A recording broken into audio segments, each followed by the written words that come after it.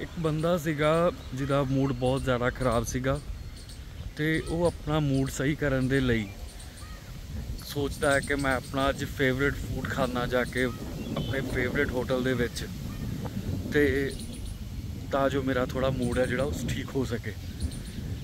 ਤੇ ਉਹ ਹੋਟਲ ਦੇ ਵਿੱਚ ਜਾਂਦਾ ਤੇ ਆਪਣਾ ਫੇਵਰਿਟ ਫੂਡ ਆਰਡਰ ਕਰਦਾ। ਤੇ 2-3 ਮਿੰਟ ਬਾਅਦ ਉਹਦੇ ਨਾਲ ਵਾਲੇ ਟੇਬਲ ਤੇ ਕੁਝ ਫਰੈਂਡਸ ਆ ਕੇ ਬੈਠਦੇ ਨੇ।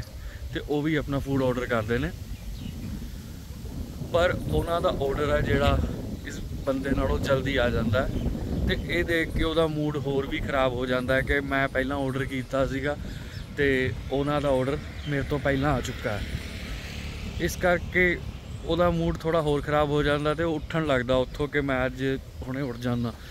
ਨਾਲ ਹੀ ਵੇਟਰ ਆਉਂਦਾ ਕਿ, ਸਰ, ਤੁਹਾਡੇ ਲਈ ਆ ਫਰੈਸ਼ ਜੂਸ ਭੇਜਿਆ ਸਾਡੇ ਸ਼ੈਫ ਨੇ ਤੇ ਉਹ ਤੁਹਾਡੇ ਲਈ ਇੱਕ ਵੀਆਈਪੀ ਮੀਲ ਰੈਡੀ ਕਰ ਰਹੇ ਨੇ ਜਿਹੜੇ ਸਾਡੇ ਹੋਟਲ ਦੇ ਮੇਨ ਸ਼ੈਫ ਨੇ। ਇਹ ਸੁਣ ਕੇ ਉਹ ਵਿਅਕਤੀ ਜਿਹੜਾ ਹੈਗਾ ਥੋੜਾ ਜਿਹਾ ਠੰਡਾ ਹੋ ਜਾਂਦਾ ਹੈ ਤੇ ਆਰਾਮ ਨਾਲ ਆਪਣਾ ਜੂਸ ਪੀਣ ਲੱਗ ਜਾਂਦਾ ਹੈ।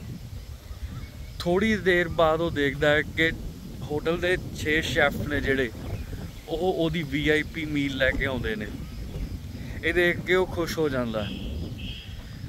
ਤੇ ਬਾਅਦ ਚ ਉਹਨੂੰ ਪਤਾ ਲੱਗਦਾ ਕਿ ਉਹਨਾਂ ਦਾ ਕੋਈ ਫੈਮਿਲੀ ਫਰੈਂਡ ਸੀਗਾ, ਜਿਹਦਾ ਇਹ ਹੋਟਲ ਆ ਤੇ ਉਹਨੇ ਉਹਨੂੰ ਅੰਦਰ ਆਂਦਿਆਂ ਦੇਖ ਲਿਆ ਸੀਗਾ ਤੇ ਉਹਨੇ ਉਹਦੇ ਲਈ ਇਹ ਸਰਪ੍ਰਾਈਜ਼ ਰੈਡੀ ਕਰਵਾਇਆ, ਇਹ ਵੀਆਈਪੀ ਮੀਲ ਰੈਡੀ ਕਰਵਾਈ। ਇਸ ਕਰਕੇ ਜੇ ਤੁਹਾਨੂੰ ਤੁਹਾਡੀ ਲਾਈਫ ਦੇ ਵਿੱਚ ਕੋਈ ਕੰਮ ਰੁਕਿਆ ਹੋਇਆ ਜਾਂ ਕੋਈ ਕੰਮ ਨਹੀਂ ਹੋ ਰਿਹਾ, ਉਹਨੂੰ ਟਾਈਮ ਲੱਗ ਰਿਹਾ, ਤਾਂ ਉਹ ਰੱਬ ਨੇ ਰੋਕਿਆ ਹੋਇਆ ਜਿਹੜਾ ਇਸ ਵਰਲਡ ਦਾ, ਇਸ ਦੁਨੀਆ ਦਾ ਮਾਲਕ ਹੈ। ਉਹ ਤੁਹਾਡੇ ਲਈ ਕੁਝ ਵਧੀਆ ਕਰ ਰਿਹਾ। ਇਸ ਕਰਕੇ ਉਸ ਚੀਜ਼ ਦੀ ਵੇਟ ਕਰੋ, ਉਸ ਵਿੱਚ ਪੇਸ਼ੈਂਸ ਰੱਖੋ। ਤਾਂ ਜੋ ਉਹ ਚੀਜ਼ ਤੁਹਾਨੂੰ ਜਦੋਂ ਮਿਲੇਗੀ ਤੇ ਤੁਹਾਡਾ ਜਿਹੜਾ ਫਿਊਚਰ ਆ, ਤੁਹਾਡੀ ਜਿਹੜੀ ਲਾਈਫ ਆ, ਉਹ ਹੋਰ ਵੀ ਵਧੀਆ ਹੋ ਸਕੇ।